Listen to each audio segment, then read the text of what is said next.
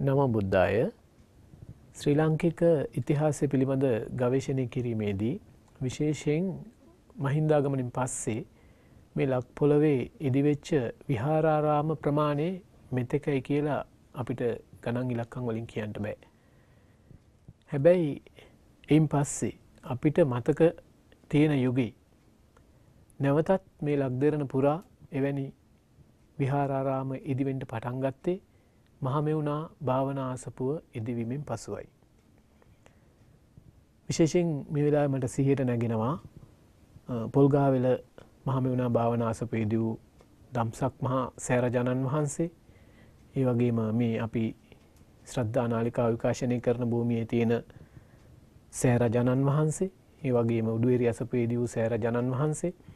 ඒ වගේම ඉදි වෙමින් පවතින සෑරජනන් වහන්සේ නමක් තිබෙනවා බණ්ඩාර වෙලාසපුයේ සිරි ඉන්දක සමන් මහා සෑරජනන් වහන්සේ මෙසේ මහා සෑරජනන් වහන්සේලා ඉදිවෙමින් අතර තුරේ සුවිශේෂී සිදුවීමක් සිදු වුණා විශේෂයෙන් දෙදස් හයසීය ශ්‍රී සම්බුද්ධත්ව ජයන්තිය නිමිතිකොටගෙන පොල්ගහවෙල මහමවුණා භාවනාසපයේදී වූ අසදෘශ වූ ශ්‍රී සම්බුද්ධ රාජ මාලිකාව.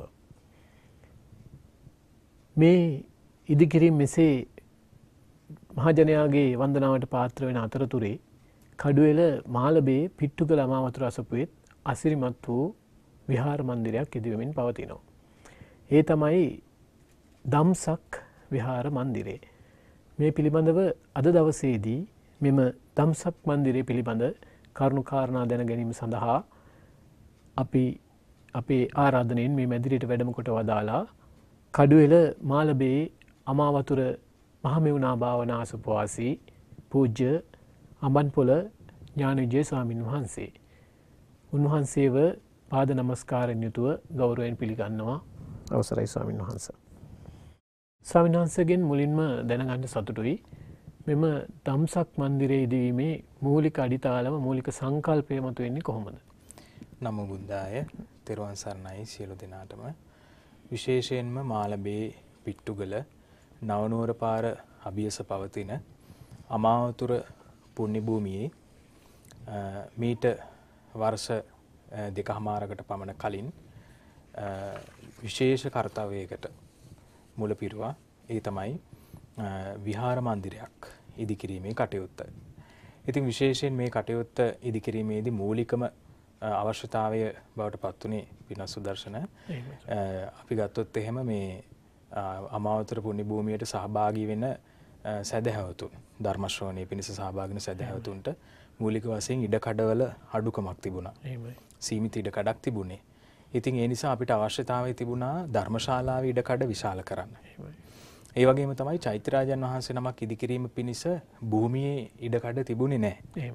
ඉතින් ඒ නිසා චෛත්‍යරාජන් වහන්සේ නමකුත් ඉදිකිරීම අවශ්‍යතාවයක් අපිට තිබුණා කාලෙක සිට.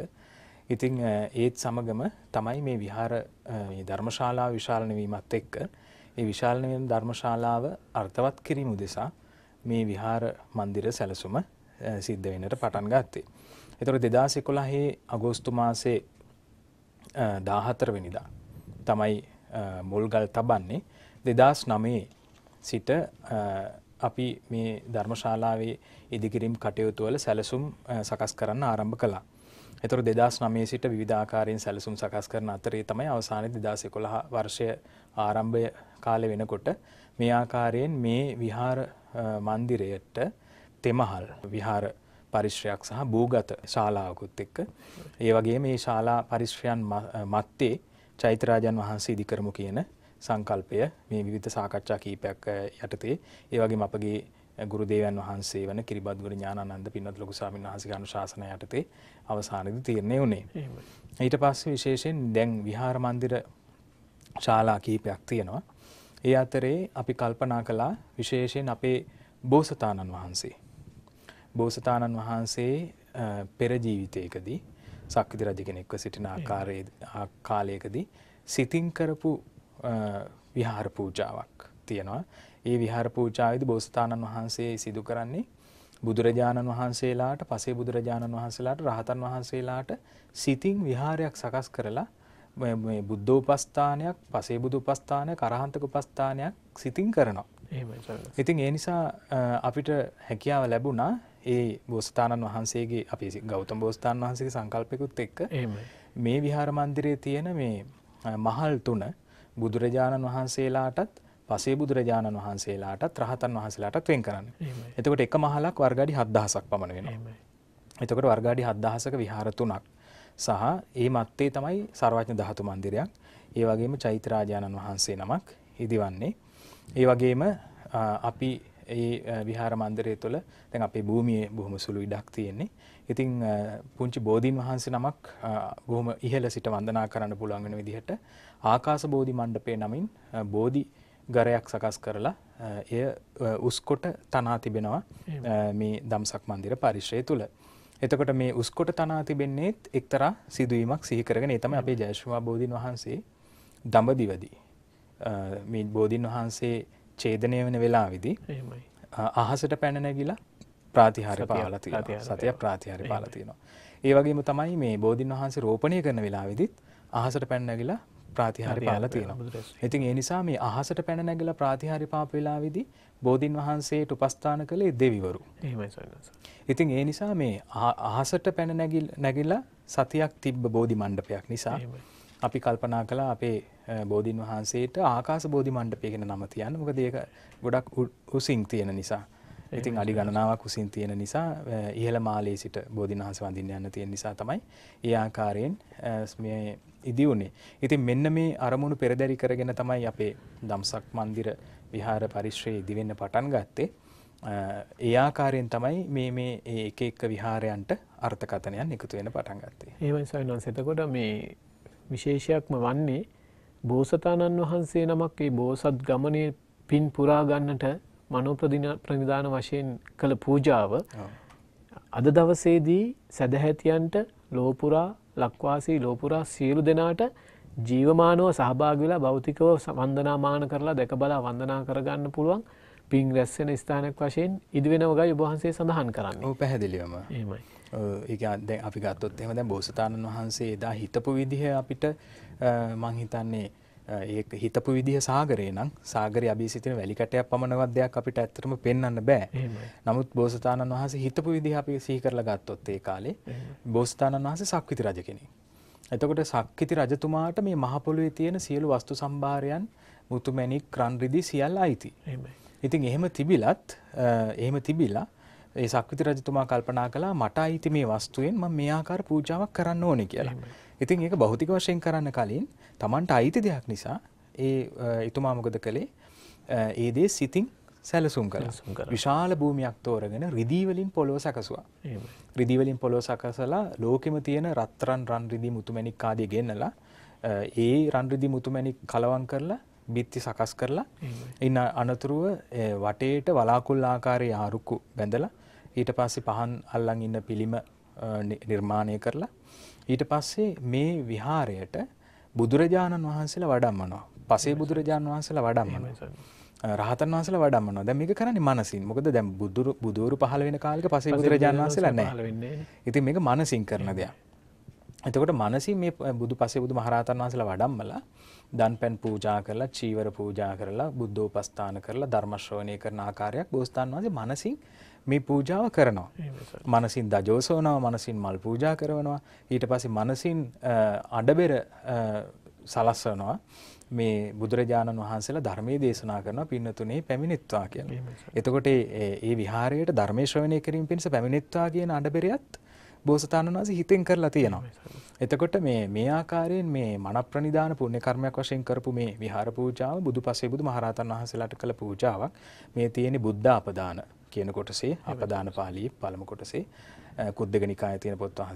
එහෙමයි. ඉතින් අ, ඒ කොටසේ තියෙන මේ සංසිද්ධියත් එක්ක අපි ගන්නකොට ඇත්තටම අපි මේ වර්ෂ දෙකහමාරක් ඇතුළත මේ වෙනකොට අපි කරලා තියෙන දේ ගත්තත් අපි ඇත්තටම මේ වසර 100ක් ජීවත් වෙලා මේ ලෝකේ එය නිර්මාණය කරන්න භෞතික වශයෙන් උත්සාහ කළත් අපි බෝසතාණන් වහන්සේ හිතපු දේ අපිට කරන්න.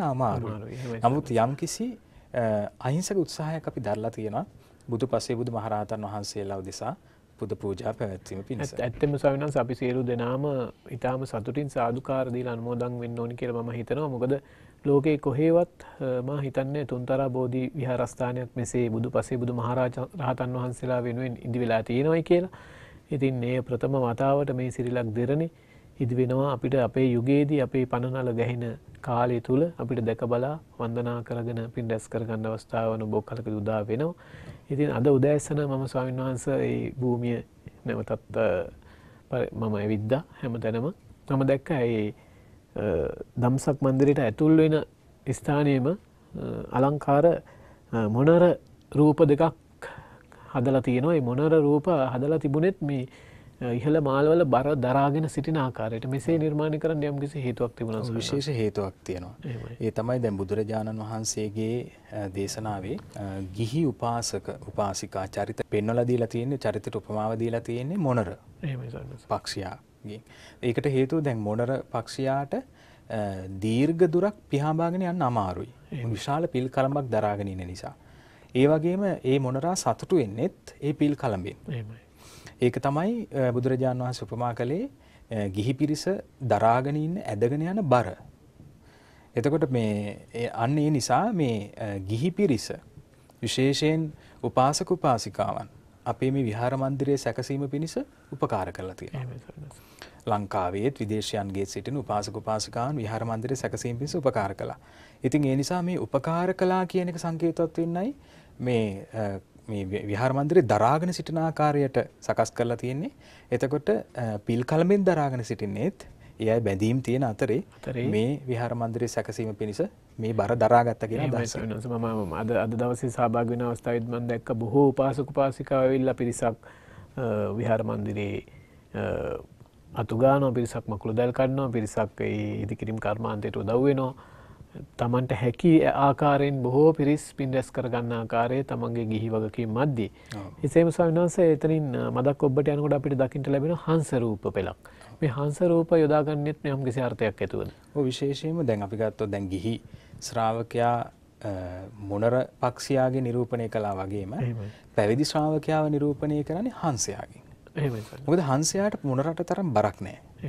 හංසයාට ඉගිලෙන්න හිතුනොත් විලෙන් නවතින්න නැතුව බොහෝ දුරක් ඉගිලෙන්න පුළුවන්. ඒ වගේම තමයි හංසයාගේ ඕනම පියාපතක් දිහා බලනකොට තනි පාට තියෙන. තනි සුදු පාට. විවිධ විවිධ වර්ණ නැහැ. එතකොට හංසයෙක්ට හංසයෙක් වෙනස් කරලා ගන්න බෑ. මොකද හැම හංසයම එක වගේ. හරියට තථාගතයන් වහන්සේගේ ශ්‍රාවකයා කෙස් බාල චීවර පරව ගත්තට පස්සේ එකම සංඥාවෙන් දකින්න පුළුවන් වගේ. නමුත් ගිහි කෙනෙක් එහෙම නෙමෙයි. ගිහි කෙනෙක් අඳිනකොට ඇඳුමකට ඇඳුමක් ගිහි කෙනෙක් වෙනස්. ආභරණයකට ආභරණයක් වෙනස්. සපත්තුවකට සපත්තුවක් වෙනස්. කෙස් වලට කෙස් වෙනස්. රැවුල් වලට රැවුල් වෙනස්. නමුත් පැවිදි ශ්‍රාවකයා ගත්තොත් කෙසුත් නැහැ, රැවුලුත් නැහැ. එකම තථාගත චීවරය එක විදිහට පොරවන්නේ. අන්න ඒ නිසා මේ සොඳුරු ඒ හුදෙකලා ඒ තනි සලකුණ නිරූපණය කිරීම පිණිස තමයි හංස පක්ෂයා අපි මේ දම්සක් මන්දිරයට එකතු කරලා තියෙන. ඒවගේම සවිනස හංසයා කැන අපිට පැරණි යුගේත් උදාහරණයක් විදිහට සඳකඩ පහනෙත් තියෙන අර මේ හොඳින් නරක වෙන්කර ගැනීමේ හැකියාවෙන් යුක්ත බව පෙන්වීමට සහ කීරෙන් දියර වෙන්කර ගැනීම හැකියාව සහිත බව පෙන්වීමට බොහොම බුද්ධිමත් බොහොම බුද්ධිමත් සත්වයෙක් විදිහට තමයි හඳුන්වන්නේ හංසයා. හොඳ නරක වෙන් කර ගන්න පුළුවන්, දියෙන් කිර වෙන් කර ගන්න පුළුවන්. ඒ වගේම දැන් දැන් අපි ගත්තොත් අපි කතා කරනවා සුමන සමත් දෙවියන්ගේ යානා විදිහට සුදු හස්තිය. අන්න ඒ වගේ බ්‍රහ්මරාජයන්ගේ යානා විදිහට සලකුණක් විදිහට තියෙන හංසයා.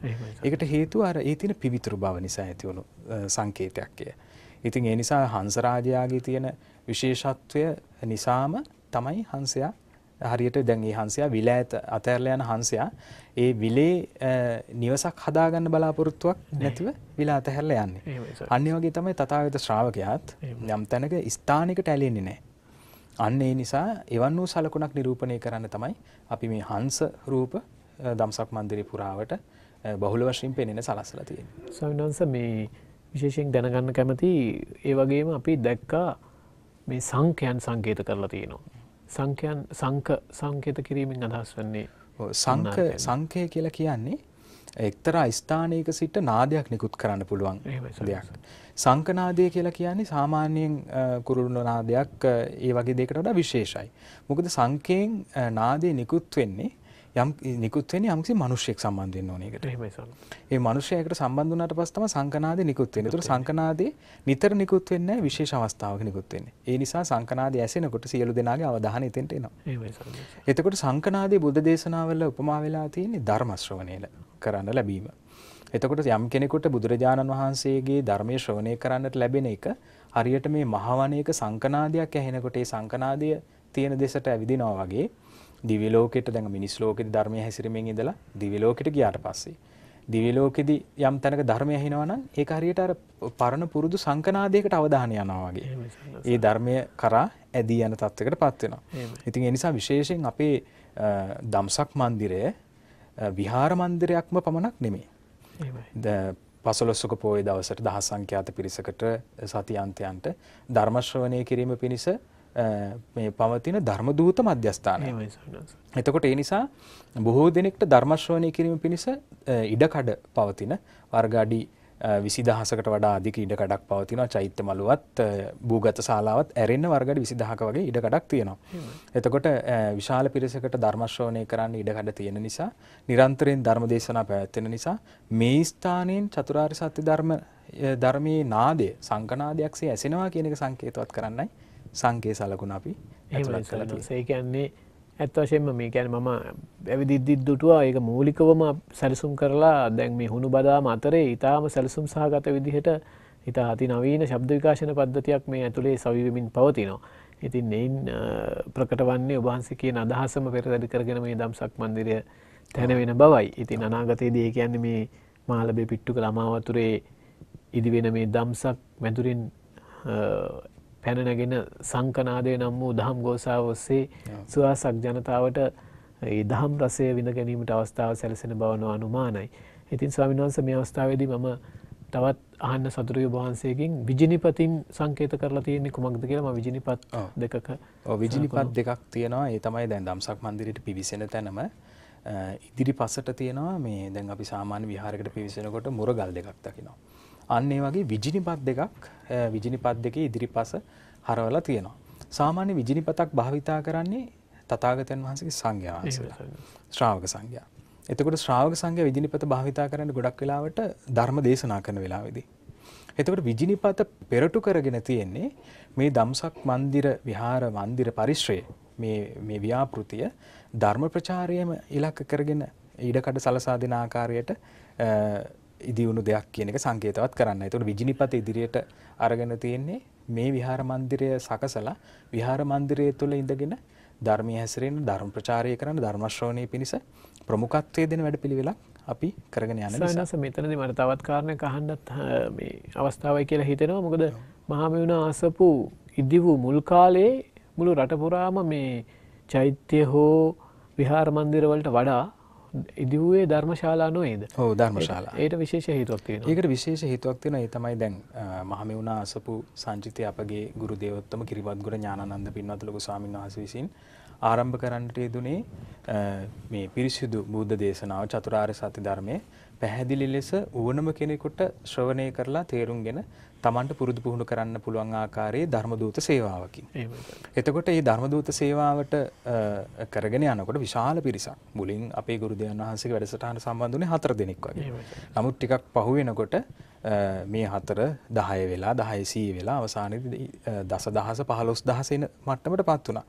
ඉතින් ඒ නිසා ඒ ඒ ස්ථානවල වල මේ ඉඩකඩ මදි වුණා. විශේෂයෙන් අපි ගත්තොත් වැස්ස වැස්සෙන් ආරක්ෂා වෙන්න, අවුවෙන් ආරක්ෂා වෙන්න. ඉතින් ඒ නිසා තමයි විශාල ධර්මශාලා ඉදි වුණේ. ඒතකොට ධර්මශාලා ඉදි වෙලා දැන් විශාල පිරිසක් ධර්මයේ හැසිරෙන අතරේ දැන් මේ පිරිසට මේ විශේෂයෙන් ධර්ම ප්‍රචාරයම මුල් කරගෙන ආරම්භ කරපු මධ්‍යස්ථානේ. දැන් ටික ටික ටික ටික වර්ධනය වෙගෙන යනකොට ඊට පස්සේ ඒ ලැබෙන ඉඩ කඩ අනුව මේ පිරිස එකතු වෙලා චෛත්‍යරාජයන් වහන්සේලා ඉදි කිරීම පිණිස පටන් ගත්තා. බෝධීන් වහන්සේලා ඉදි කිරීම පිණිස පටන් ගත්තා. එතකොට දැන් අපි ගත්තොත් මිහිඳු මහරහතන් වහන්සේ වුණත්. ලංකාවට වැඩම කළා. මුලින්ම තූපාරාම ඉදි කළේ නැහැ. මුලින්ම මිහිඳු මහරහතන් වහන්සේ ලංකාවට එද්දී බෝධීන් වහන්සේ අති අරගෙන ආවේ නැහැ. මිහිඳු මහරහතන් වහන්සේ අරගෙන ආවේ චතුරාර්ය සත්‍ය ධර්මය. එතකොට මුලින්ම සැකසෙන්නේ මහමෙවුනා වූයේ ධර්මශාලාවක් එහෙමයි. අනුරාධපුරේ. එතකොට මේ ධර්මශාලාවේ ධර්මයේ දේශනා කළාට පස්සේ ශාසනය පිහිටවාගෙන යනකොට තමයි මිහිඳු මහරහතන් වහන්සේ දේවනා පියතිස්ස රජතුමා එක්ක එකතු වෙලා මේ බෝධින් වහන්සේ වඩම්මන්නේ ධාතුන් වහන්සේලා වඩම්මන්නේ චෛත්‍යරාජන් වහන්සේ ඉදි කරන්නේ ඊට පස්සේ පසු කාලීන පිළිවෙලින් රුවන්වැලි සෑය ලෝවාමාපාය වගේ ස්ථානත් අනිකුත් රජවරුන් විසින් ඉදි කරන්නට යෙදෙනවා. ඉතින් ඒ නිසා මේ විශේෂයෙන් අර අන්න ඒ අනුපිළිවෙලට විශේෂයෙන් මුලින්ම අවශ්‍යතාවය තිබුණේ ධර්ම ප්‍රචාරය කරන අවශ්‍යතාවය. නමුත් ටික ටික ටික ටික පිරිස එකතු වෙනකොට පිරිස සියලු දෙනා වැඳ පුදා ගන්න පුළුවන් ආකාරයට විහාර භූමි චෛත්‍ය භූමි ඉදි කළා.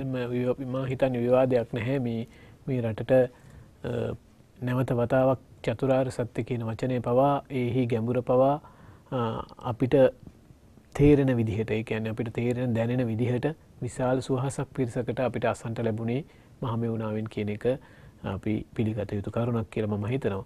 ඉතින් ස්වාමීන් වහන්ස මම අහන්ට කැමති ඔබහන්සේකින් දැන් මේ දම්සක් මන්දිරේ තවත් විශේෂ සලකුණක් තමයි මේ නෙළුම් කුළුණු නෙළුම් මල් වලින් සුසැදි කුළුණු මේ කුළුණු ඉදිකිරීමේදී ඒකට නිලුම් මල් යොදා ගැනීම පිළිබඳ අර්ථයක් තිබෙනවද? ඔව් විශේෂයෙන් මේකට අර්ථයක් තියෙනවා. ඒ තමයි දැන් අපි ගත්තොත් මේ නෙළුම් කුළුණු සියපත් කුළුණ තුළ තිබෙන නෙළුම පිපුණු නෙළුම් මලක් තියෙන්නේ.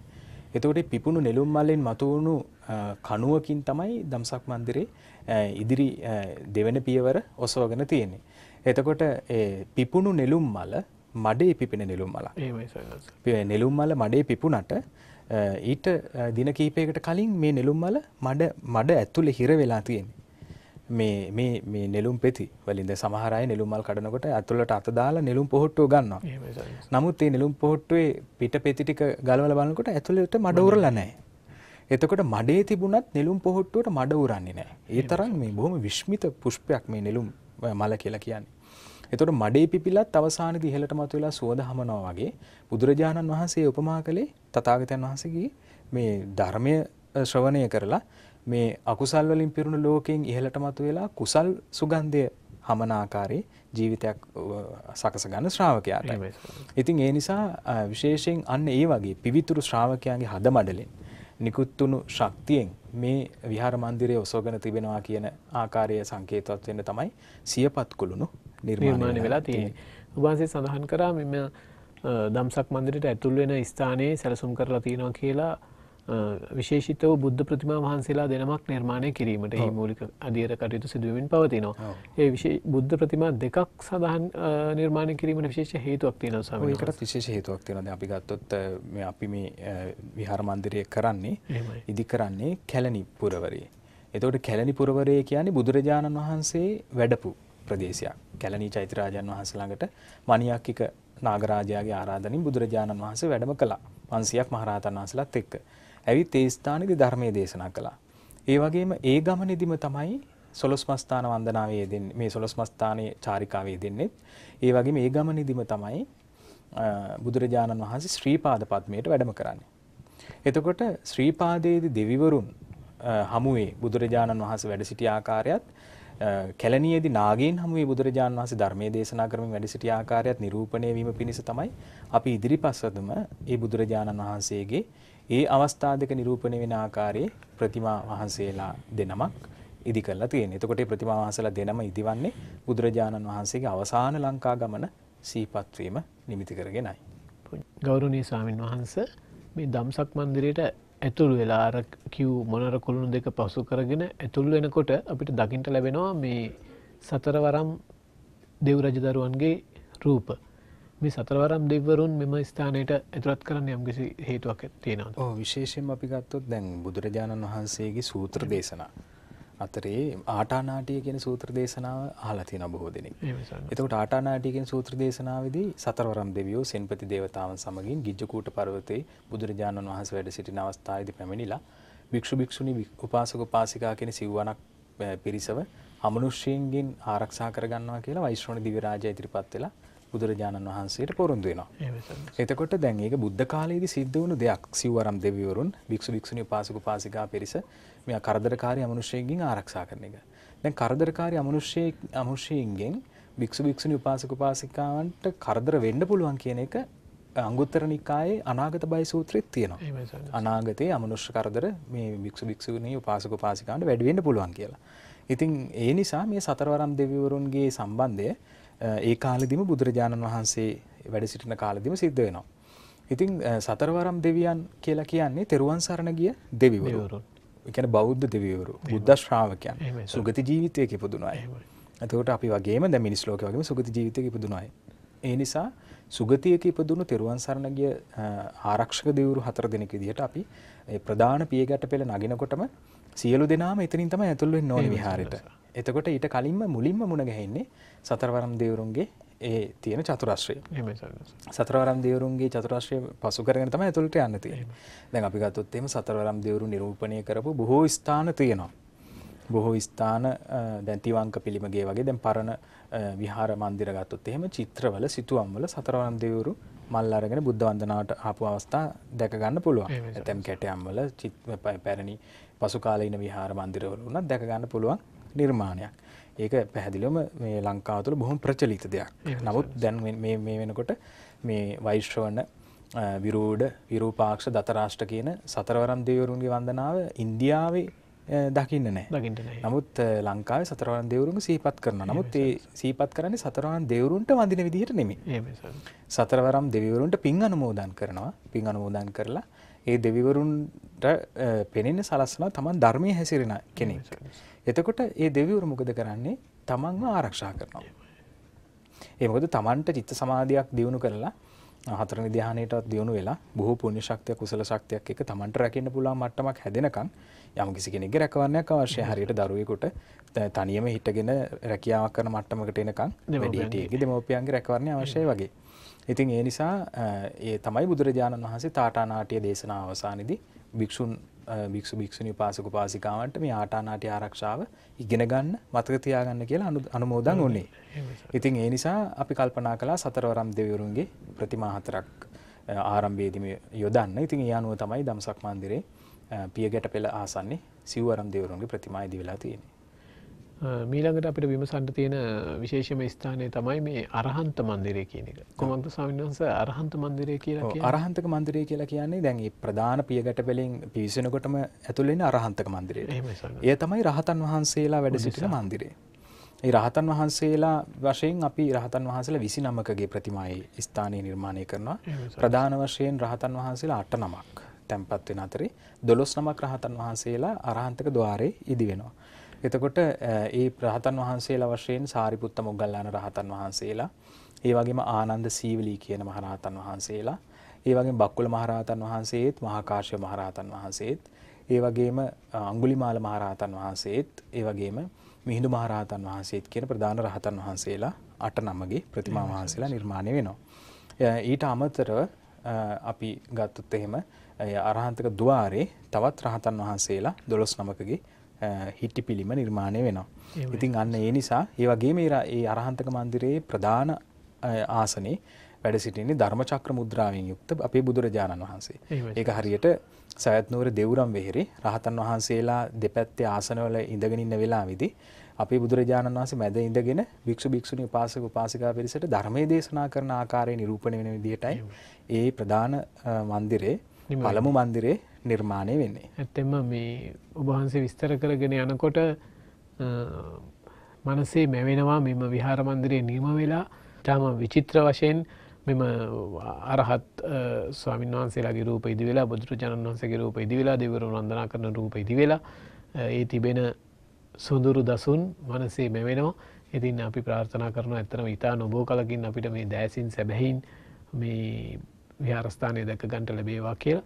ඉතින් මේ අරහන්ත මන්දිරේ අවසාන වන්නේ වන්දනා චතුරස්ත්‍රයෙන් මේ වන්දනා චතුරස්ත්‍රය පිළිබඳව කුමක්ද ස්වමිනාන්ස සඳහන් වන්දනා චතුරශ්‍රය වසයෙන් තියෙන්නේ අරහන්තක මන්දිරේ මැද.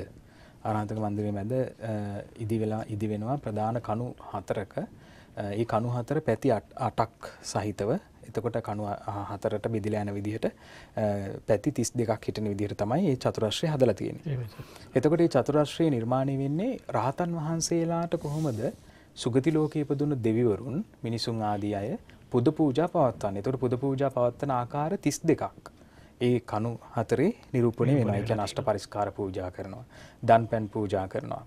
චාමර සලන අවස්ථා තියෙනවා.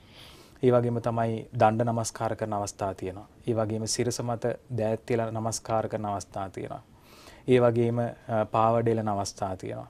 නොඒක් ආකාරයේ මේ රහතන් වහන්සේලාට පුද පූජා කරන ඉරියව් තිස් දෙකක් එකතු කරලා තමයි මේ වන්දනා චතුරශ්‍රයේ කණු හතර නිර්මාණය වෙන්නේ. එතකොට මේ කණු හතර හරියටම ගත්තොත් ඒ කණු හතර ඉහළට ඉහළට ගියාට පස්සේ එතන තමයි ඉහළ මහලේ තියෙන චෛත්‍යරාජන් වහන්සේ නිර්මාණයේ ප්‍රධාන කණු හතර බවට පත් වෙන්නේ. ඉතින් ඒ නිසා මේ පූජනීය සෑරජානන් වහන්සේ දරාගෙන සිටින කණු හතර පහළදී අපි වන්දනා චතුරාශ්‍රය වශයෙන් නම් කරලා තියෙනවා. ඒ වගේම තමයි මේ චතුරාශ්‍රයේ මැදට අර බුදුරජාණන් වහන්සේ ත්‍රහතන් වහන්සේලා සියලු දෙනා එක තැනට දැක ගන්න පුළුවන්. එක තැන ඉඳගෙන වඳ ගන්න පුළුවන් කණුවකට කණුවක් මුවා වෙන්නේ නැතුව.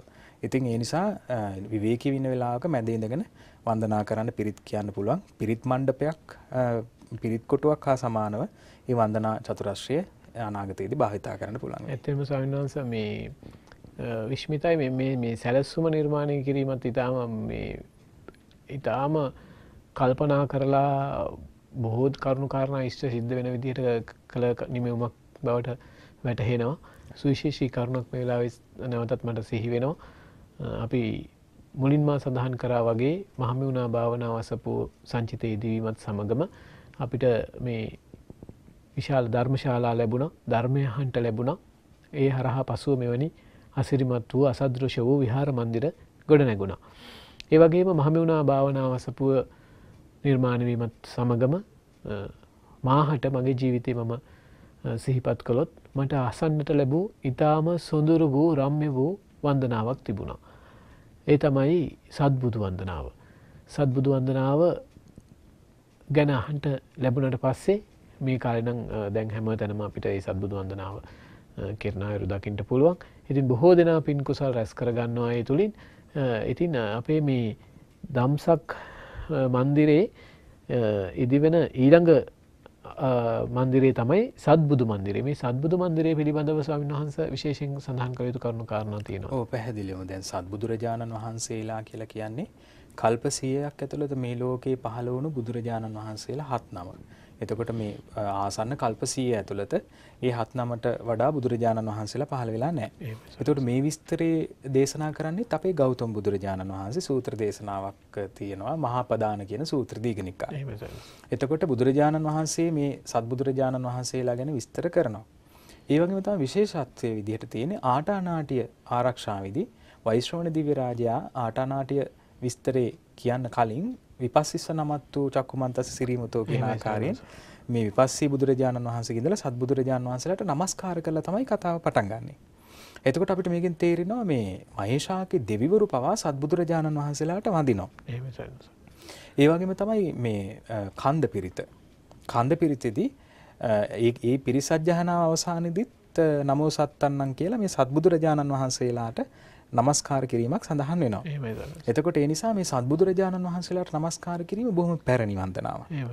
එතකොට මේ පැරණි වන්දනාවක් නිසා තමයි විශේෂයෙන් අපේ ගුරුදයන් වහන්සේගේ අනුශාසනය යටතේ මීට බොහෝ කාලයකට කලින් ඉඳලා සත්බුදු පූජා පැවැත්වෙන්න පටන් ගත්තේ. එතකොට මේ සත්බුදුරජාණන් වහන්සේලා තමයි විපස්සී බුදුරජාණන් වහන්සේ, සිකී බුදුරජාණන් වහන්සේ, වෙස්සබ බුදුරජාණන් වහන්සේ, ඒ වගේම මේ මහා භද්‍ර කල්පයේ පහළ වුණු කකුසඳ කෝණාගමන කාශ්‍යප සහ ගෞතම කියන බුදුරජාණන් වහන්සේලා. මෙන්න මේ සත්බුදුරජාණන් වහන්සේලාගේ ප්‍රතිමා වහන්සේලා අඩි 10කට වඩා උස දැවැන්ත ප්‍රතිමා වහන්සේලා හත් නමක් ඉදි වෙලා අඩි 18ක් විතර වගේ උස විහාරයක් සත්බුදු මන්දිරේ. ඒ විහාර මන්දිරය ඇතුළත සම්පූර්ණයෙන්ම නිර්මාණය වෙන්නේ සත්බුදුරජාණන් වහන්සේලා වැඳ පුදා ගැනීම පිණිසත් සත්බුදුවරුන්ට යමෙක් පුද පූජා පවත්වන්න කැමති නම් බුද්ධ වන්දනාවක් කරන්න කැමති නම් දැන් විහාරයක් තියෙන වර්ගඩි 7000ක විහාරයක් සත්බුදුරජාණන් වහන්සේලා උදෙසාම ඉදිවුණු සත්බුදු මන්දිරයක් වශයෙන්. එහෙමයි සන්නස. මීළඟට උඩුමහලට ගිය වෙලාවේ මම ආදවදෙත් ගිහාම මම කල්පනා කරේ චෛත්‍යරාජනන් වහන්සේගේ මළුවේ ඇවිදිද්දි ඒ ප්‍රදේශයේ වෙන කිසිම ගොඩනැගිල්ලක් තිබුණ නෑ ඊට ඉහලින්. ඒ වගේම මුළු ප්‍රදේශ විශාල ප්‍රදේශයක් පුරා දර්ශනය වෙන විදිර තමයි සෑ මළුව නිර්මාණය වෙලා තිබුණේ. ඒ වගේම මට මේ අවස්ථාවේදි මතක් වෙනවා භාග්‍යතුන් වහන්සේ වදාළ එක්තර සූත්‍ර දේශනාවක තිබෙනවා භාග්‍යවතුන් වහන්සේ පිණුසිගා වඩිද්දි භාග්‍යතුන් වහන්සේ එක්තරා නිවසකට වඩිනවා. ඒ නිවසට වැඩි වෙලාවෙදී ඒ ගෘහපතිතුමා නැහැ ඒ අන්ද දෙමවපියොන් විතරයි සිටින්නේ. ඒ අන්ද දෙමවපියන් කියනවා මේ හඬින් හැඳිනගෙන ස්වාමිනි භාග්‍යතුන් වහන්ස ආහාර පිළිල කරලා තිබෙන්නේගේ තුළ ඔබහන්සේ කරුණා කරලා මේ ආහාර පිළිගන්න කියලා. එනිස භාග්‍යවතුන් වහන්සේ මේ ඒ ගෘහය ඇතුළට වැඩලා ඒ වැැහුන් ඇරලා දාන බෙදාගෙන වැළදුවයි කියලා මහලා තියෙන ඉතින් එතරම් භාග්‍යවතුන් වහන්සේ විශ්වාසය තැබූ එතරම් භාග්‍යතුන් වහන්සේගේ පවා ගෞරවාදරයට පාත්‍ර වෙච්ච සිරි ගටිකාර නමින් තමයි මේ මහසෑරජාණන් වහන්සේ නම් කරලා තියෙන්නේ. මේට විශේෂ වූ හේතුවක් තින සවින්න ඒ කාශ්‍ය බුදුරජාණන් වහන්සේගේ කාලේ සිද්ධියක් තම ඔබතුමයි මතක් කළේ. එතවට කාශ්‍ය බුදුරජාණන් වහන්සේගේ කාලේ කාශ්‍යප බුදුරජුන්ගේ අග්‍ර උපස්ථායකය තමයි ගටිකාර කුම්භකාරතුමා එතකොට දැන් අපේ ගෞතම බුදුරජාණන් වහන්සේගේ අග්‍ර උපස්ථායකතුමා තමයි අනාථ පිණ්ඩික සිටුතුමා. එතකොට කෙනෙක් අනාථ පිණ්ඩික සිටුතුමා ගැන හිතනකොට අවිවාදෙම පිළිගන්න අග්‍ර උපස්ථායකෙක් වෙන්න පුළුවන් බොහොම ධනවත් කෙනෙක්, ධනස්කන්ධයක් තිබුණු කෙනෙක්, වෙළඳ ව්‍යාපාරිකයෙක්. හරි එතකොට අග්‍ර උපස්ථායකයා බවට පත් වුණා. නමුත් කාශ්‍යප බුදුරජාණන් වහන්සේගේ අග්‍ර උපස්ථායකයා බවට පත් වුණු ගටිකාර උපාසකයා වලං හදන කුම්භකාරතුම. එතකොට එනම් මේ ධනවත් භාවය නෙමේ අග්‍රපස්ථායක භාවය තෝරගන්න සුදුසුකම විදිහට තිබිලා තියෙන්නේ. තිබිලා තියෙන්නේ ශ්‍රද්ධාව. තමන්ගේ ජීවිත පරිත්‍යාගයෙන් ඉස්මතු වුණු ශ්‍රද්ධාවයි. ඒ වගේම පයි මේ ඒ වෙනුවම පෙරුම් දම් පුරලා සකස් කරගත්ත පාරමී ශක්තියක් තිබුණා. ඒ කියන්නේ අදිෂ්ඨාන කරන්න ඇති සංසාරයේ යම් දවසක මම බුදුරජාණන් වහන්සේ නමගේ අග්‍රපස්ථායකෙක් බවට පත් වෙනවා. සාරණසාර භාග්‍යතුන් වහන්සේගේ කුටිය තෙමෙන වෙලාවකත් මේ කුටිය බුදුරජාන් වහන්සේ කුටිය තිවෙන වෙලාවක කාශය බුදුරජාන් වහන්සේ කුටිය තිවෙන වෙලාවක කාශය බුදුරජාණන් වහන්සේ සඳහන් කරන භික්ෂුන් වහසලාට පින්නොත් මහනිනි මේ කුටිය තෙමෙනවා ගටීකාර කුම්භකාරතුමාගේ මේ ඒ කුඹල් හලේ තියෙන පිදුරු මේ බොහමාලුත් අරගෙන ඇවිල්ලා සෙවිලි කරන්න කියලා. එතකොට පිදුරු අරගෙන ඇවිල්ලා මේ සෙවිලි කරන වෙලාවේදී මේ එකතු කරන වෙලාවේදී අන්ධ දෙමව්පියන් කටිකාර උපාසකයාගේ අම්මයි තාත්තා යන්දයි. එළියට බහැලා අහනවා කවුද මේ පිදුරු එකතු කරන්නේ? එතකොට කියනවා තථාගතයන් වහන්සේගේ ශ්‍රාවකයෝ බුදුරජාණන් වහන්සේගේ කුටියේ තෙමෙන නිසා අරන් යනවා කියලා. අනේ සාදු සාදු මේ කුටිය මේ පිදුරු අරන් යන්න කියලා අම්මලාත් සතුටු වෙනවා. ඊට පස්සේ මේ පිදුරු ටික ඔක්කොම අරන් ගිහිල්ලා සෙවිලි කළාට පස්සේ එදා දැන් කුටිය තිබෙනවා කියන්නේ ඒ දවස් ටිකේ වැහලා තියෙනවා. එහෙමයි ඒ වගේම දැන් එදා රාත්‍රියේත් වැස්සා. වැස්සා. එතකොට දැන් වලං හදන කෙනෙකුගේ වලං හදන ශාලාව කියන්නේ නිතරම මැටි තියෙන. ඒ වගේම මේ පුලුස්සපු නැති වලන් තිබෙන තැනක්. තැනක්. එතකොට වැස්සොත් එහෙම සියල්ල දිය වෙලා යනවා. එහෙමයි සර්. නමුත් ආශ්චර්යය කියන්නේ ඒ කුම්භකාරතුමාගේ ඒ වලං හදන ශාලාවේ පිදුරු නැතත් මහ වැස්සේදී තෙමුනේ නැහැ. එහෙමයි සර්. එතකොට ඒ ඒ ප්‍රාතිහාරි සිද්ධ වුණේ ඒ කුම්භකාරතුමාගේ ශ්‍රද්ධාව නිසා. ඉතින් දැන් ඒ ආකාරයෙන් දැන් කුම්භකාරතුමා ඇවිල්ලා බලනකොට පිදුරු නැහැ. එහෙමයි සර්. වහලේ නැහැ. හොයලා බලනකොට බුදුරජාණන් වහන්සේගේ කුටියට අරන් ගිහලා. ඉතින් එතුමා මේ නමස්කාර කරලා අනුමෝදන් වුණා. මේ වහලය බුදුරජාණන් වහන්සේට පූජා වුණු එක ගැන හිතලා තමන් ගැනවත් එතකොට හිතලා නැහැ. තමන්ගේ ජීවන පැවැත්ම ජීවිකාව ගැන මොකුත් හිතලා නැහැ. එතකොට දැන් අපි හිතලා බලුව සාමාන්‍ය කෙනෙකුගේ නිවසක තිබුණු උළු ටිකක් වැස්ස වෙලාවක අරන් ගිහිල්ලා කුටියකට කවුරු හරි මේ භික්ෂුන් වහන්සේ නමක් සෙවිලි කළොත් එහෙම ශ්‍රද්ධාවත් පිරිහිලා සමහරලාට බුදුරජාණන් වහන්සේවත් බුද්ධ ශාසනයවත් අතහැරලා දාන්න නමුත් ගටිකාර කුම්භකාරතුමා එහෙම කළේ නැති නිසා මේ ශ්‍රද්ධාවෙන් බැබළුණා. එවන් වූ ශ්‍රාවකෙක්ගේ නමින් දැන් අතීතේ රත්නමාලි ස්වර්ණමාලි දෙවගෙන නමින් රුවන්වැලි මාසයයි දිවුනේ. සෝමාවති දේවියගේ නමින් සෝමාවති සෑයි දිවෙනවා. වලගම්බා රජතුමාගේ නමින් ගිරි නිගණ්ඨයාගේ නමත් එකතු කරලා අබේගිරිය. නිර්මාණය වෙනවා. එතකොට අන්න ඒ වගේ මේ අතීතයේ ශ්‍රාවක චරිතත් එකතු කරලා චෛත්‍ය හදලා තියෙනවා. ඉතින් ඒ නිසා දැන් මේ වගේ ආශ්චර්යවත් ශ්‍රාවක චරිතයක් අනාගාමී කෙනෙක් මේ වෙනකොට බ්‍රහ්ම ලෝකේ ඉන්න කෙනෙක්. ඒ කියන්නේ විශේෂත්වය තියෙන ස්වාමීන් වහන්සේ දැන් කාශ්‍යප බුදුරජාණන් වහන්සේත් වැඩ ඉඳලා කයි කාලෙත් වැඩ ඉඳලා ගෞතම බුදුරජාණන් වහන්සේගේ කාලෙත් වැඩ ඉඳලා බ්‍රහ්මලෝක ආවිශ දිගයි අපි දන්න එනිසා තවමත් ජීවමානව වැඩඉන්න තවමත් ජීවමාන රාජයක ගෙනමෙනුයි මේ සෑනම් එතුර බුද්ධ ශාසන දෙකක් ස්පර්ශ කරපු අනාගාමි. ඒකැන රාගේ දේශය සම්පූර්ණයම නැති කරපු. අනාගාමි බ්‍රහ්මරාජයගේ බ්‍රහ්මරාජ තමයි බෝස්තන් වන්සට අෂ්ට පරිස්කාරප අභිනිස්කවනි පූජා කරන්න. ඉතින් එනිසා ඒවගේම දැන් කාශය බුද්ධ කාලෙදී ජෝතිපාල නමින් තම අපේ ගෞතම බෝස්ථාන් වහන්සේ ඉපදිලා. එතකොට අපේ ගෞතම බෝස්ථාන් වහන්සේගේ පැරණි යාළුවෙක්. ඉතින් ඒ නිසා එතුමාගේ නමින් ගෞතම බුදුරජාණන් වහන්සේට පිදෙන සෑයක් විදිහට තමයි ඒ ඉහළ මාලේ ඉදිවන අඩි 60ක් උසින් තියෙන ඒ වගේම බිම ඉඳලා ගත්තොත් එහෙම සලපතල මළුවේ ඉඳලා ගත්තොත් එහෙම අඩි 80ක් පමණ උස තියෙන චෛත්‍යරාජන් වහන්සේ නමක් විදිහට මේ ගටිකාර මහසෑයි දිවන්නේ.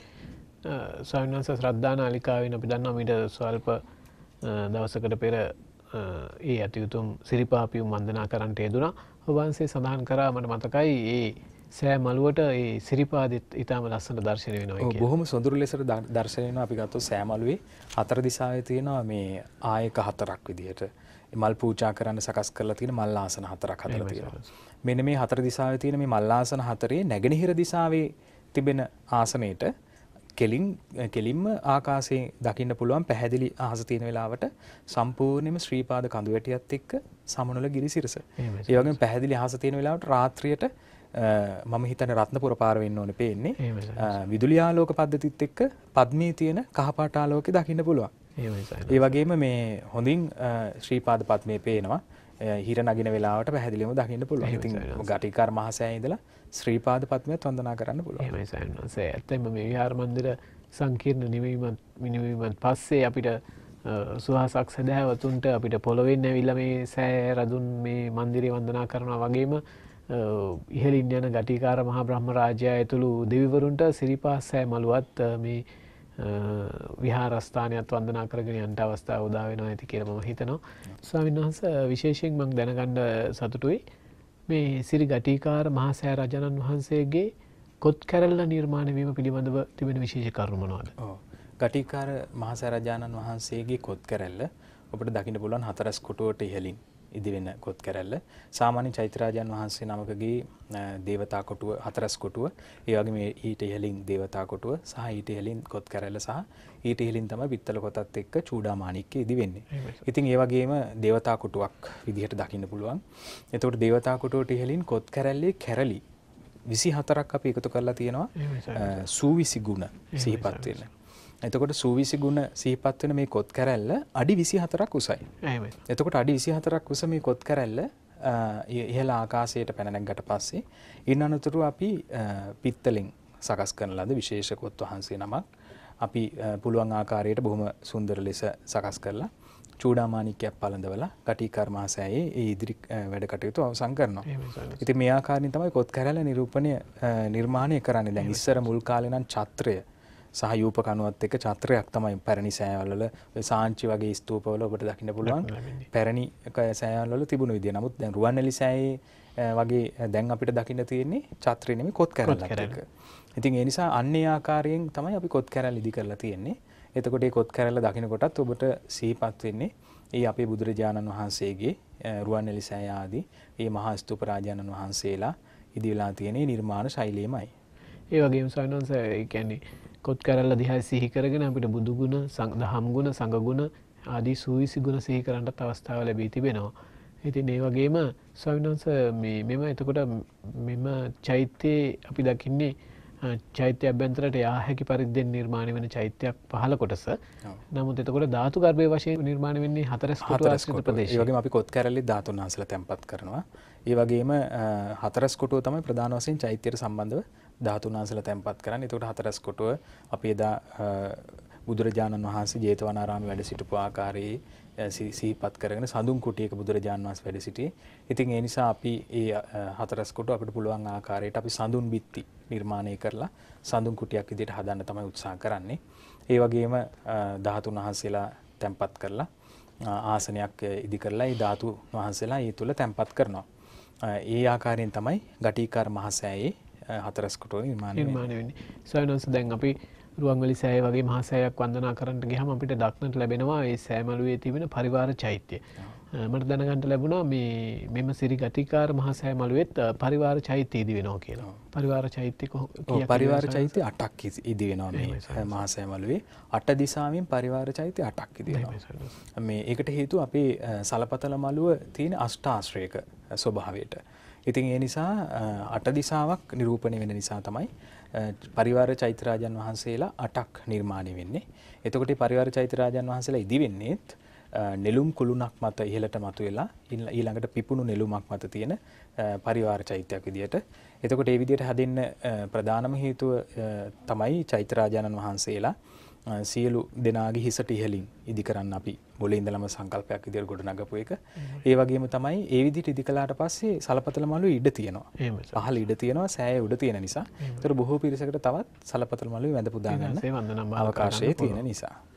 අවසාන වශයෙන් අහන්න කැමති ස්වාමීන් වහන්ස මෙම විහාරාරාම සංකීර්ණයට එහෙම නැත්නම් මේ තුන්තරා බෝධි විහාරස්ථානයට දම්සක් මන්දිරය යන නම යොදන්නටත් විශේෂ හේතුවක් ඇති කියලම හිතනවා. ඕ විශේෂ හේතුවක් තියෙන තමයි දැන් අපි ගත්තොත් දම්සක් මන්දිරය කියන නම ඇතුළේ තමයි තුන්තරාබෝධි විහාරය නිර්මාණය වෙලා තියෙන්නේ චෛත්‍යරාජන් වහන්සේ තියෙන්නේ. එතකොට මේ දම්සක් මන්දිරය කියන නම යොදාගන්නට හේතු වුණේ අපි ගත්තොත් දේවානම්පියතිස්ස රජතුමා මිහිඳු මහරහතන් වහන්සේ පැමිණි කාලෙදී දේවානම්පියතිස්ස රජතුමා විසින් ඒ කාලේ ඉදිකරපු විහාරයක් තියෙනවා. ඒ විහාරයට කියන්නේ දම්සක් ගෘහය කියලා. ඒ දම්සක් ගෘහය තුළ තමයි ඒ කාලේ මේ බුද්ධ වන්දනාදී පැවතිලා තියෙන්නේ. පසු කාලීනව දලදා වහන්සේ ඒ විහාරයට වැඩම කළාට පස්සේ ඒ නම අතුරුදහන් වෙලා ගිහිල්ලා එයට දලදා මැදුර කියන නම භාවිතා වුණා. එතකොට මෙන්න මේ දම්සක් ගෘහය කියන එක දැන් අදට ගෘහය කියන එක විහාරයකට භාවිතා කරන්නේ අද භාවිතා වෙන වෙන්නේ ධාතු මන්දිරය. විහාර මන්දිරය. ඉතින් ඒ නිසා ධාතු මන්දිරය විහාර මන්දිරය කියන විවහාරය පුරුදු නිසා තමයි මේ දම්සක් ගෘහය ධම්මචක්ක ගෘහය කියන එක දම්සක් මන්දිරයේ විදියට අපි භාවිතා කරන්නේ. ඒ වගේම තමයි මේ ස්ථානය මේ විහාර මන්දිරයක් විදිහට මේ වැඳ පුදා ගන්න විතරක් තියෙන දෙයක් නෙමෙයි. භාවනා කරන්න, චතුරාර්ය සත්‍ය ධර්ම ශ්‍රවණය කරන්න, ධර්මය දම්සක පෙරලෙන තැනක් විදිහට ධර්මයේ දේශනා කරන තැනක් නිසා ඒ දම්සක් කියන වචනේට අපි බොහෝ ඇලුම් කළා.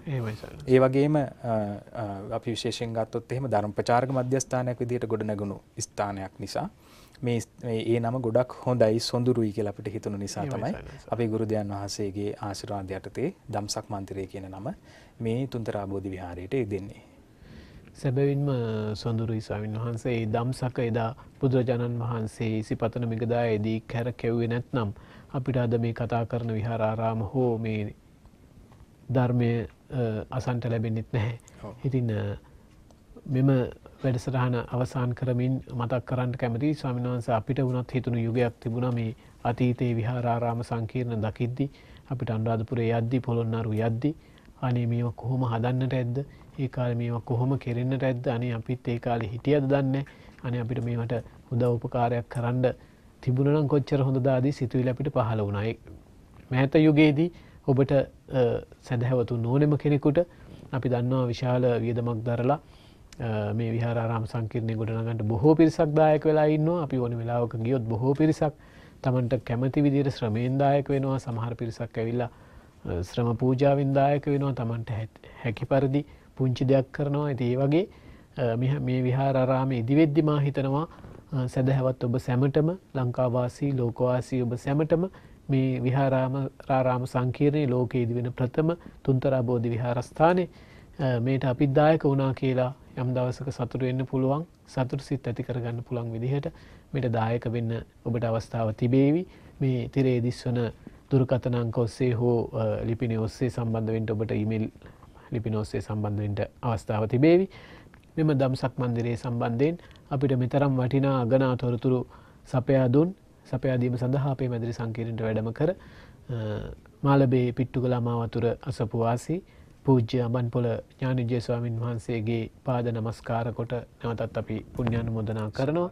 ඒ වගේම සියලු ප්‍රේක්ෂක සැමටත් මෙම උතුම්පුන් පොහෝ දිනේ මෙම වැඩසරහන ශ්‍රවණය කරන ඔබ සැමට මේ කඩයුතු දැක බලා හෝ පින් සිත් උපදවා ගන්ට අවස්ථාව තිබෙනවා ඔබ සියලු දෙනාමත් නැවත දම්සක් මන්දිරයේ ඉදිරි වැඩසටහන් සමඟ සම්බන්ධ වෙන අධිටනින් අපි සමුගන්නවා සියලු දෙනාටම තෙරුවන් සරණයි. නමෝ බුද්ධාය.